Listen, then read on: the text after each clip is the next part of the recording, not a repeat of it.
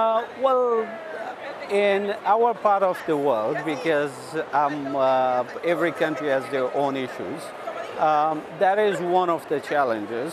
Uh, we have been facing uh, problems like that, like some government uh, entities or individuals who are powerful would not like anyone to say anything bad about them or uh, the way they consider it bad um, uh, in our country. So they, they've been trying to um, shut down Facebook in Afghanistan, for example, which is a very popular social media uh, network, and a lot of people have set up uh, pages for creating political um, uh, awareness among uh, the population.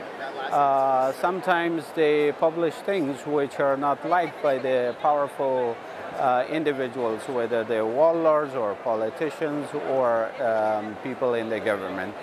So that has been a problem. The other issue is uh, since people are very new to uh, social media mm, in Afghanistan, they do not know how they can be safe online, especially children and women.